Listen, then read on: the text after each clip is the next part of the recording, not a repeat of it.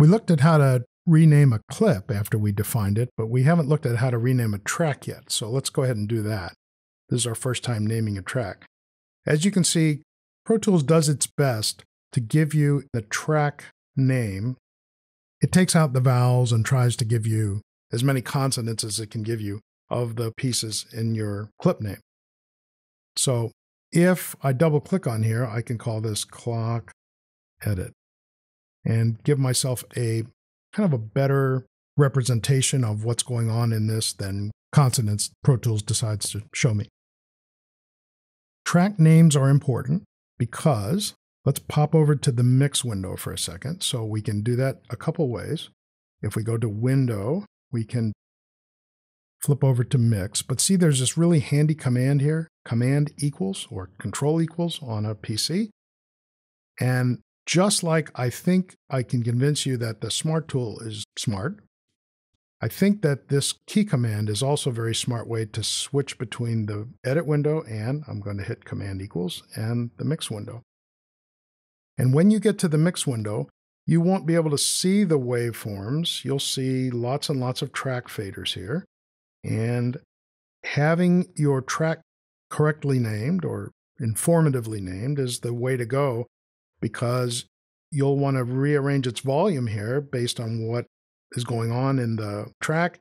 And if you have vocal or some non informative title on your track name, it won't help you as much. So, closing the mix window for now, just trying to convince you to be good with your track names.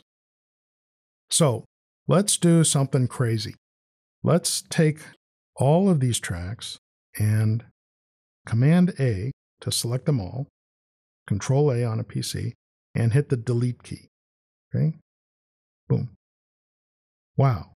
You mean all that editing that I did and all those definings and everything all gone? No, it's non destructive editing, remember? So over here on the right is this little arrow fellow. Let's click him and bring back our clip bin. And so we see some things in here. Let's push this wall out to the left here, this little vertical line, so that we can see what's inside the clip bin. And there are all the pieces we have already defined and named in an earlier movie. So there's one that's in bold type here, and the rest of these are not in bold type. And that's because the grandfather clock, this big one, if I bring him over to the timeline, we can see that that's the big, big clip that contains all these other little pieces. So it's in bold because it's a parent file, and these other pieces are children of that parent. They're the things that we chopped up and defined and named. So I'm going to delete that from the timeline.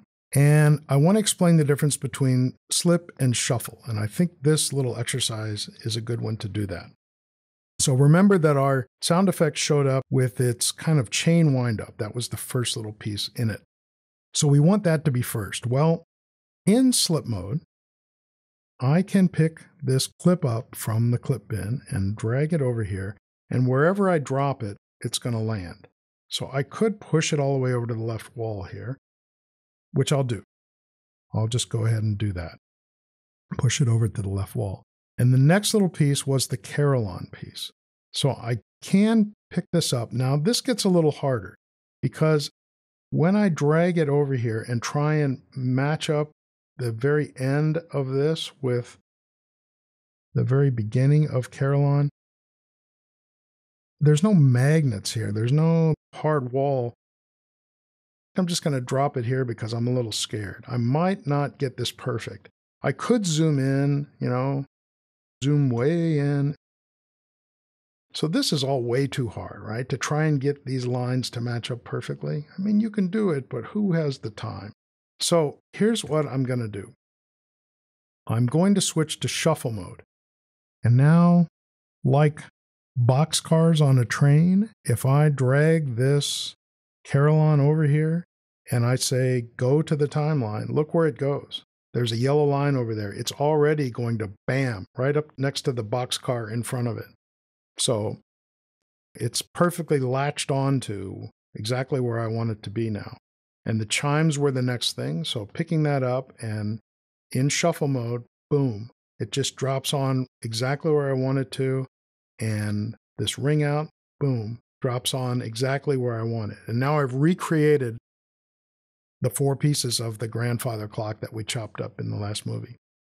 So slip mode is freedom. It gives you the freedom to place that clip anywhere on the timeline that you want.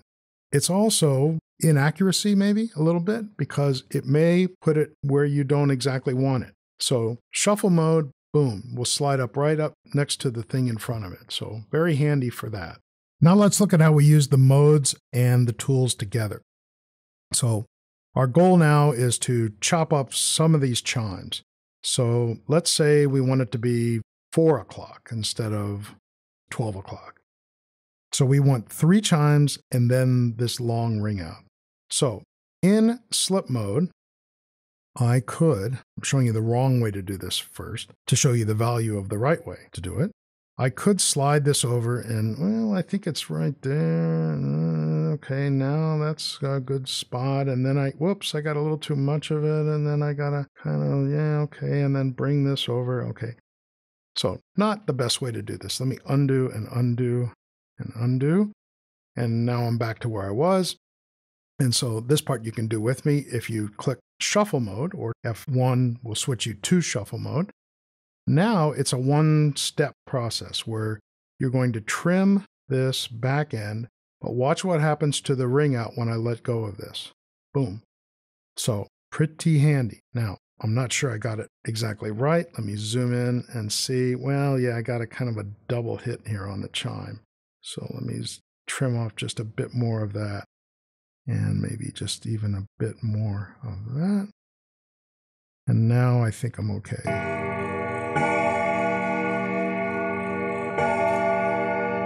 And now I have three chimes plus the long one at the end instead of the bunch of chimes that I had earlier. So pretty easy to work with.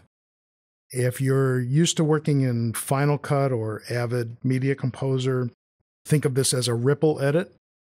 Pro Tools hasn't called it that yet, but you kind of wonder that as they move and try and merge Pro Tools into the Avid family, if that isn't maybe the next step down the line. So, what you want is for the edit to ripple on down the timeline. And so, in film editing or video editing, we call it that. And here we call it a shuffle edit so that the last piece comes over and fills up the gap.